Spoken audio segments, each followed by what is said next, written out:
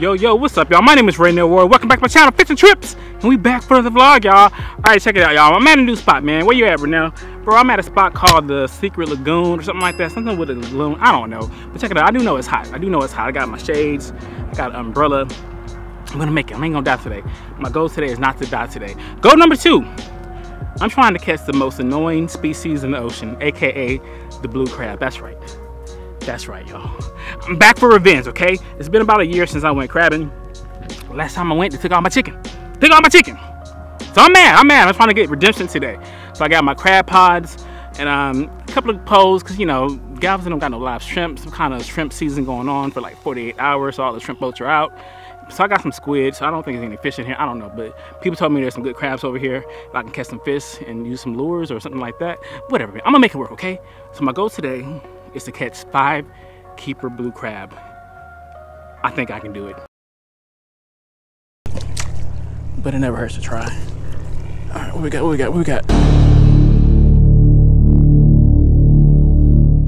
Enjoy the vlog. Legal!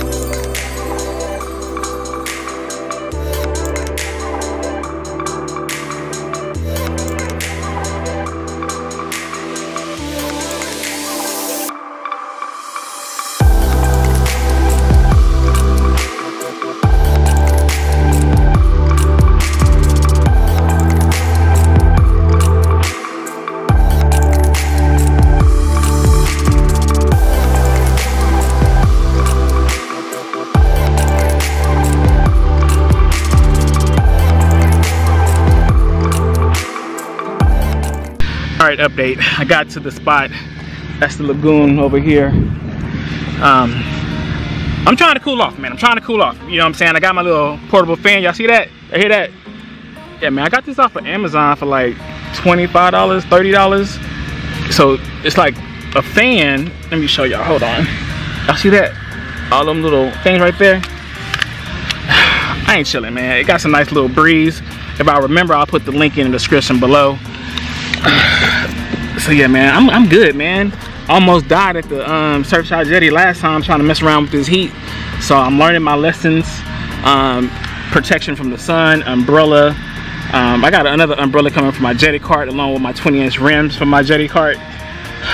My fan plenty of water. Mm -mm. nope not gonna die this time. So let me get a second to get my bearings. We'll set up our first crab pod and um, we'll get started with this vlog this is the exciting content y'all signed up for. This is the exciting content y'all signed up for. I'm sorry, it is what it is, okay? You're, you're watching a black guy sitting in the middle of a lagoon under an umbrella on a summer day. This is your life. I, I know, right? I know, who, who would have thought it, but here we are. All right, I'll be right with y'all. Take a little nap.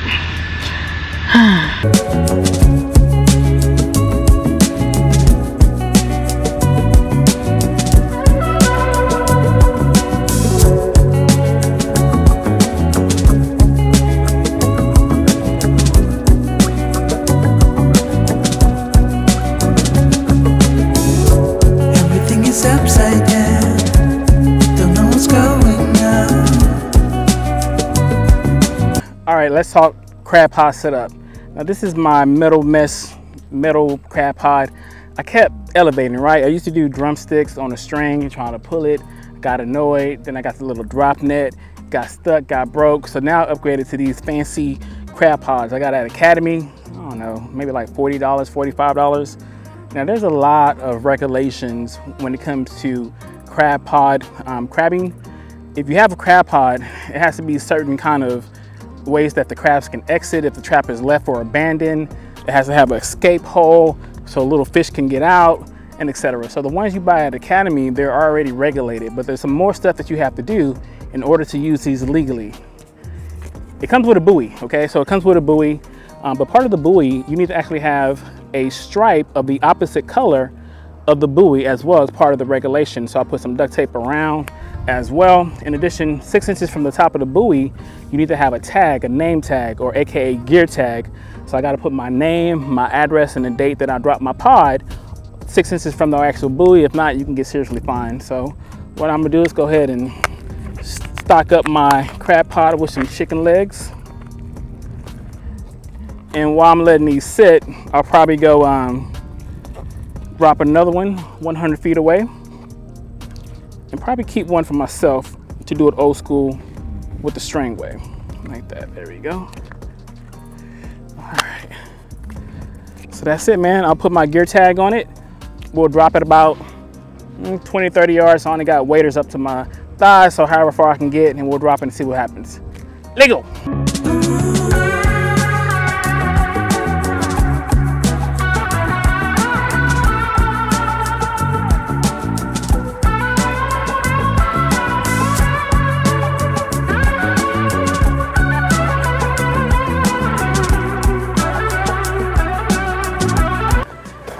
so I just set up the first pod. There's another guy right there swimming in the middle of the channel. Y'all see him right there?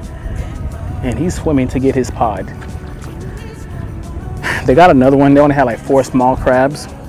I don't know how long they've been having them soaked, but that's not a good sign. Especially um, since they're out like in the middle of the channel. I'm about 10 yards out. I think I can do it. I think I can do it a couple other people they're gonna old school it with some chicken legs and some string which i got some string too. We'll see what happens. All right y'all so desperate times call for desperate measures. I'm going with a VuDu Shrimp okay? It's supposed to be a good bait. Let me tell y'all something about artificial lures. I don't catch fish on artificial lures. I think i caught maybe two fish on artificial lures my entire fishing career. I'm 40 years old so i'm gonna try this. I'm gonna try this and see what happens.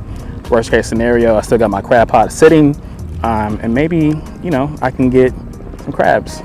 I got some squid too and some fish bites. I can do this. I can do this. I can catch a fish on artificial. Watch me work. Tell you one thing, the shrimp definitely looks realistic.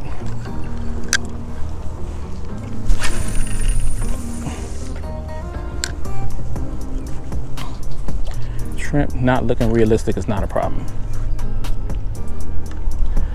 So I got one buoy here there. Another buoy about 120 feet the other way. Another regulation with buoys is that they have to be 100 feet apart if you're going to be using pods. It's a ton of mullet jumping.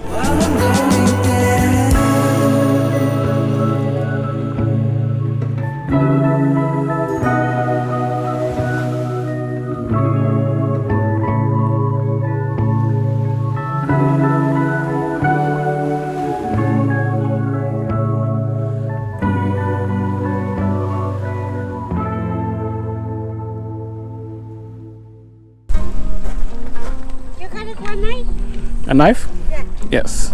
Please. Oh, that's bad. Can I take a picture? Mira. Mira. No bueno. yeah, it's not good. No bueno. Hold on. Mira, es lazy. Let's see here. I'll come like that. Es que de Austin. Coming. Hmm? De Austin. Y Oh. no bueno. En academia. Yeah, it's not good. No bueno. Y es uh, 69.99. Sixty-nine ninety-nine. Yeah.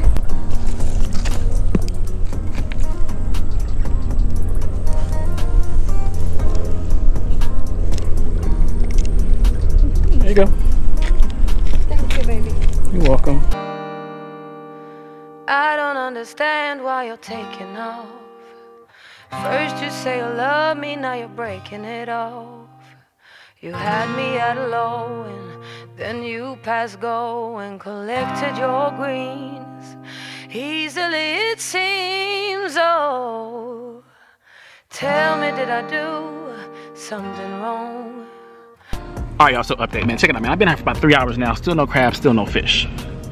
I did help that um, lady out right there from Austin because you know her husband wouldn't help her out. So you know I hooked her up, man. I hooked her up. I set her rig up, and um, apparently I got two wives now. I got two wives now. All right, so I got to commute from Austin to Houston to take care of my other wife I just met. Um, shout out um, Consuela. So yeah, man. Um, my backup plan is I heard that people have been catching a lot of crab at 61st Street Pier at night it's like seven o'clock man so i might have to go there for a backup plan if not i don't got no video i don't got no video i did not come all the way to galveston texas to sit here on some rocks under an umbrella talking to y'all and not make a video because if y'all aren't currently watching this. That means I didn't catch nothing and I never posted the video. I gotta make this happen. All it takes is one. All it takes is one to make one good episode. I'm gonna keep pushing. I'm gonna keep pushing. Me and my wife Consuelo are gonna keep pushing and we're gonna make this happen. Let go. All right, y'all, so the sun is coming down. I gotta get my pods. This is last chance effort. So about five hours of work for one small crab. Is it? Just got one. Cause this won't be my heartache, no. This will be your mistake, oh. Go ahead and run. Go ahead.